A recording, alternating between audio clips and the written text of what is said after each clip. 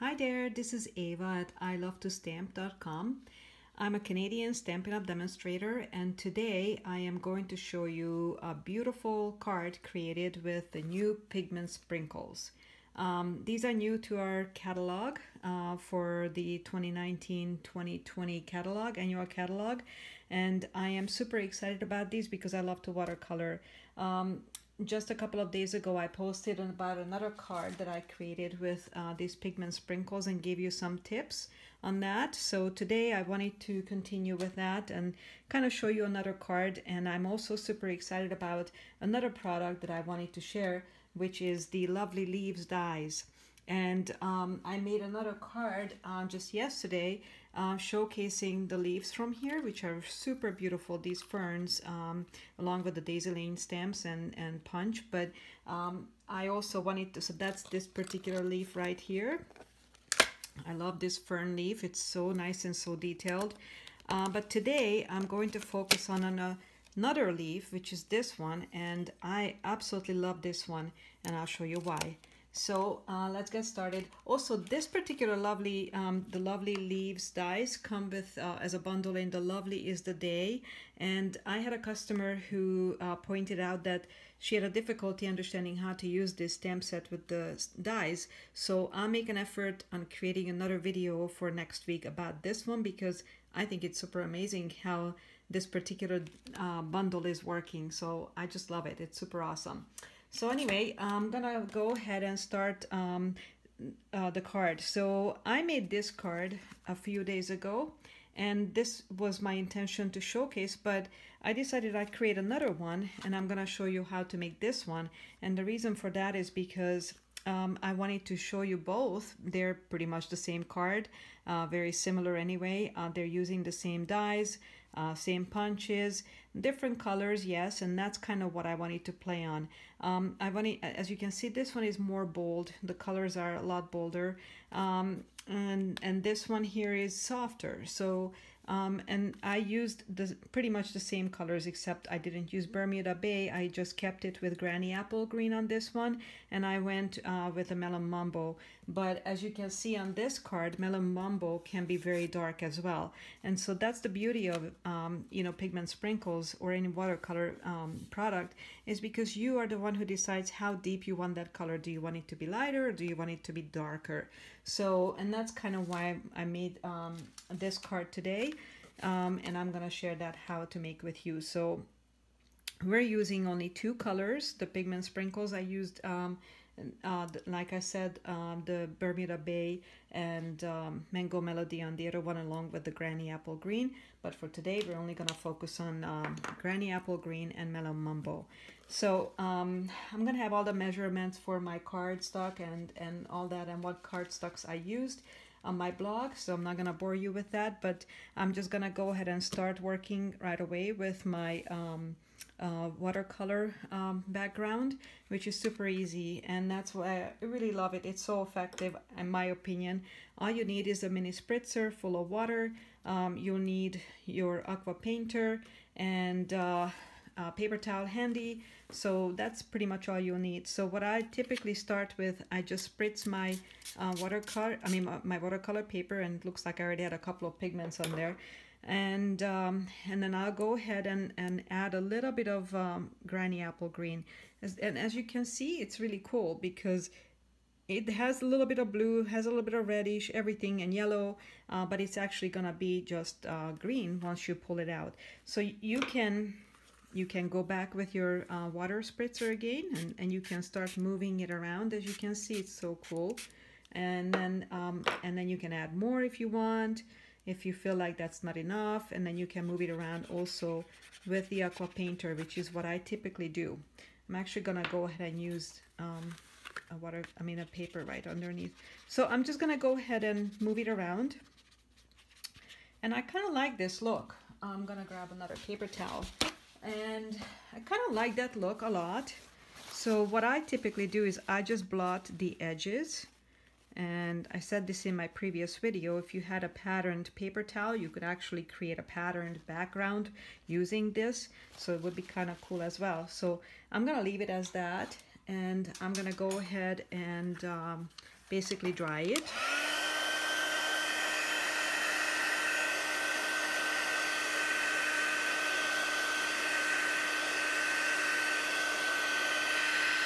And, and that's really all you would do. You would basically just dry it. That's all you would have to do. Um, but to speed up the process, I just wanted to show you that step anyway. To speed up the process, what I did is I actually created another one. So I'm gonna go ahead and con continue with this one. And I'll wait until this one dries and continue with this at some point because it'll be beautiful as it is. Um, so I'm gonna take a step back and then create now the um, melon mambo color. So, and that's going to be super easy. Once again, I gave you another tip last time. Just squeeze, uh, squeeze your um, aqua painter out uh, to clean it. Um, and it, it gets clean totally. So it's very easy.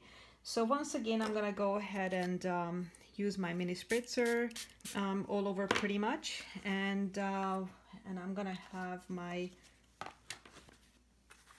um, paper towel underneath and this one I didn't close all the way so I'm just gonna add that one is actually gonna have a lot of powder on it. So this would be awesome for you to see what happens if you put too much powder on right?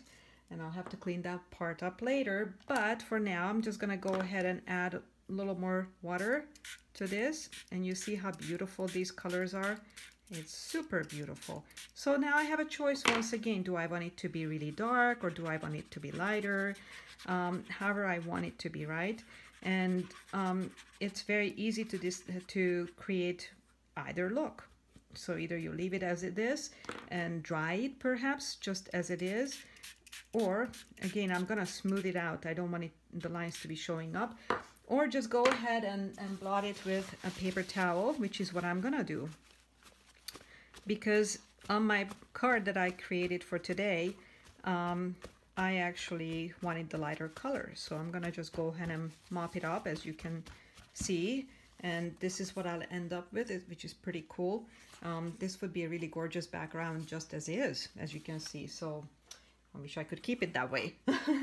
but anyway, I'm gonna go ahead and dry this.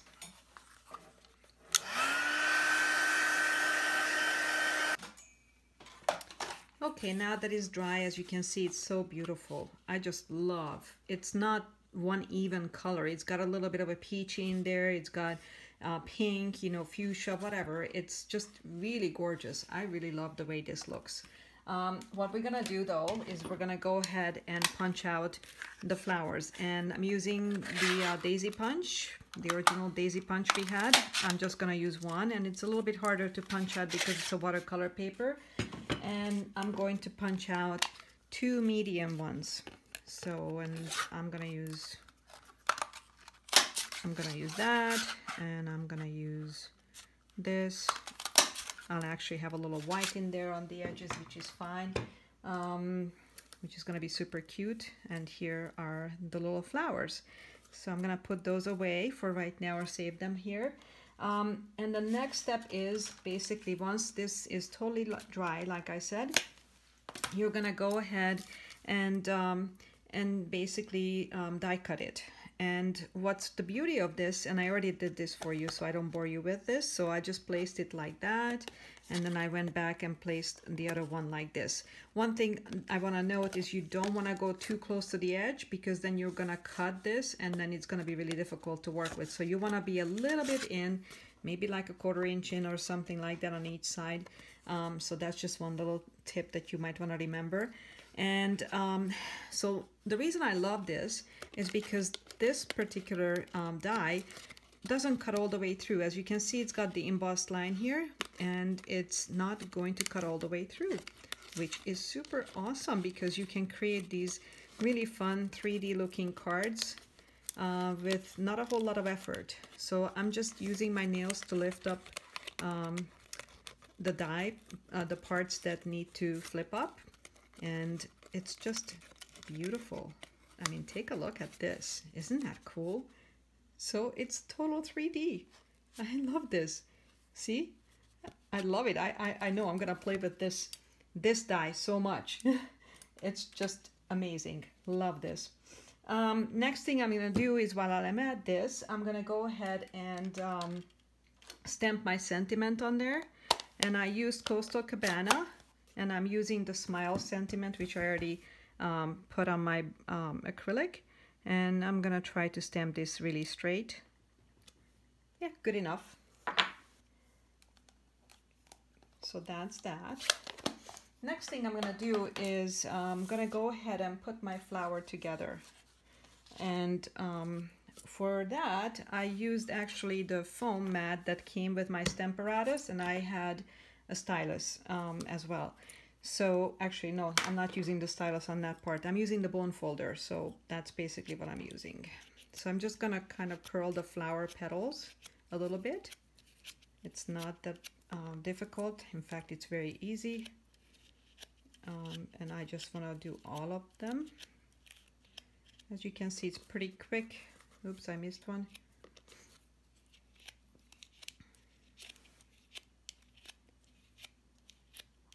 Okay, they're all done. And in the meanwhile, I also die cut from crushed curry cardstock. I die cut one of the little um, middle flower middles uh, from the um, Magnolia uh, dies. And that I'm using my uh, stylus on and I'm just gonna kind of uh, poke, I mean not, um, pressure it, press it down with the stylus in the middle. And the next thing I'm gonna go ahead and do is also do the middle of these, um, the smaller um, daisies as well. And then I'm gonna go ahead and use my um, mono glue and put the flower together. And I'm just layering them um, so that they show in, in, in a perfect way.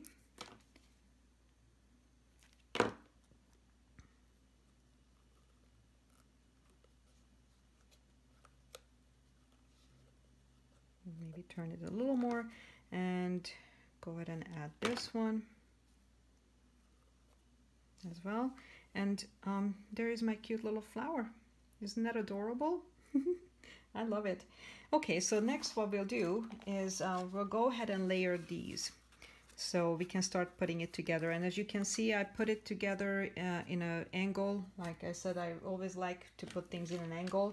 Now, because I use watercolor paper, I typically like to use tear and tape with that. And uh, only because it really holds it down really good. So that's just my opinion on that. So I'm just gonna go ahead and use that. Now that I pulled off the backings from the tear and tape, I'm gonna go ahead and angle it on onto my mat, which is Pool Party by the way. And then I'm gonna go ahead and use uh, snail adhesive and adhere it to the card base, which is Granny Apple Green. I thought it would go great with um, since I used the Granny Apple Green uh, pigment sprinkle. And try to put this in the middle. Then the next thing I did is I used glue dot just to adhere my flower onto the card where I wanted it to be. I'm gonna add a couple, even though it's a small surface, but I'm still gonna add a couple there. And I just wanted it kind of right here. And I actually added a little faceted gem in the middle of my flower and I put it out here so that I can find it. Yes, I found it. So I'm adding the smaller one in the middle of the flower and that's just really cute. And as a final step of, well, actually one before uh, the last final step, um, I actually um, if you can see here, I have some speckles, right? So the way I did that is by adding Bermuda Bay. And uh, the way I did that is, and I'm gonna have to clean this off a little bit so I don't have any red there. Um, so what I did is uh, basically I already had on an acrylic block, I added some uh, Bermuda Bay and a few other colors here too. It's I'm kind of using this as my palette here. So I added uh, some water with Bermuda Bay sprinkles and it's this one right here. So I'm just going to activate it again with water and squeeze a little more water out as well. And I'm basically going to go ahead and just, um, just dab it all over. And as you can see, it's going to be really fun. So you see, it's cute speckled car card now, not car, card. okay, and the final touch, the final, final touch is that I am adding a few more um, iridescent, uh, the um, sequins, the iridescent sequins, which are my favorites. And I'm gonna just pick out a couple of colors here to adhere and I'm gonna kind of go with this one here. Um, then I have a this one here, not that one. And I want the light blue-ish color right here. So, um, and I really love the new fine tip glue Stampin' Up came out with. Oh, well, well, what happened? I lost one of them. That's okay. We'll find one here. Stay there. okay, so um, the fine tip glue is pretty cool. Um, and all I do is just move these out of the way a little bit from where I wanted them to be. And then when I need to turn around, I want it to be here. Add a little dab of glue where it was, where I want it to be going back. And then I'm just gonna go ahead and pick up with my tweezers and add it on top of the glue, glue that I just squeezed out and wait until it dries. And it dries uh, pretty quick as well. So there, um, there is my card. So this is the one I had made prior to the video and this is the one I just made on the video and this is the previous one that I made. So what do you think? I think they're pretty cute, aren't they? Imagine uh, sending these to someone. Um, I'm pretty sure that person would be pretty happy with it, right? And I still have this panel to play with. Uh, one thing I wanted to give you as another tip. So if you see these lines that are like kind of like that, you can move them around with your um, aqua painter a little bit so they won't be so harsh. Now it's it's easier when it's still uh, you know a lot more wet and but you can move them around once you work it it's gonna be softened up so um, that's just another little tip with watercoloring so anyway I'm gonna work on that and I'm gonna promise that I'm gonna have a fabulous card with this background available for you. Um, yeah I will definitely do that. Anyway thank you so much for watching. Hope you enjoyed this little video and um, you love these uh, pigment sprinkle sprinkles. Um, come visit my blog. I have um, I'm gonna have the PDF downloadable tutorial for this so you can actually take it with you um, I have an awesome uh, reward um, program if you purchase um, anything through my store at ilovetostamp.com. It's a pretty easy name to remember because I'm pretty sure if you're watching this, you love to stamp.